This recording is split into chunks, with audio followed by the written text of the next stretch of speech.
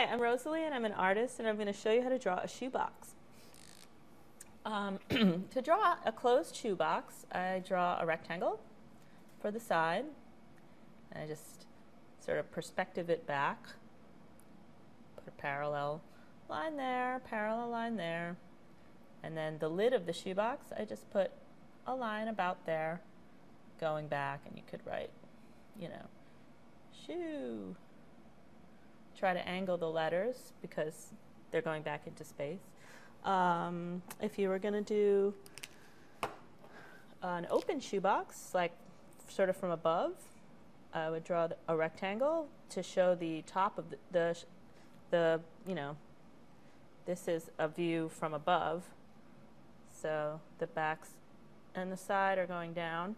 And then inside, I would put the shoes. When you put shoes in a shoebox, you have to fit them in. So this is like a pair of sneakers. There's the sole, there's toe. Put in some laces.